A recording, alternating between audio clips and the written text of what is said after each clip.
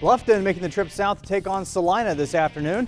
Pick this one up with no score in the first half. Philip Tartikoff plays one into the box for Tristan Smucker. He deflects, but Braden Kahn is there to make the stop. Pirates still attacking. Eli Barasa fires a shot, but sails high of the cage and out for a goal kick.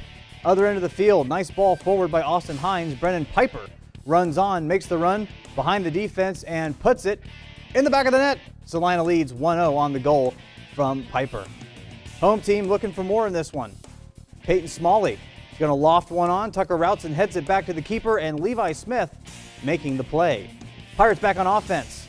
Cole Harlow trying to create space, gets away with a shot, gets away with a shot with the left, but Kahn making the stop. Celina rolls in this one.